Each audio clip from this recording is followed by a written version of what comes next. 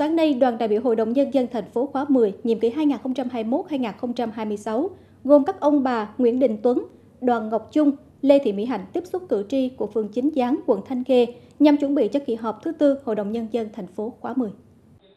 Tại buổi tiếp xúc, cử tri phường Chính Gián đánh giá cao sự lãnh đạo điều hành của thành phố trong thực hiện nhiệm vụ phát triển kinh tế xã hội, đặc biệt là trong phòng chống dịch COVID-19, đảm bảo an toàn sức khỏe và tính mạng của người dân.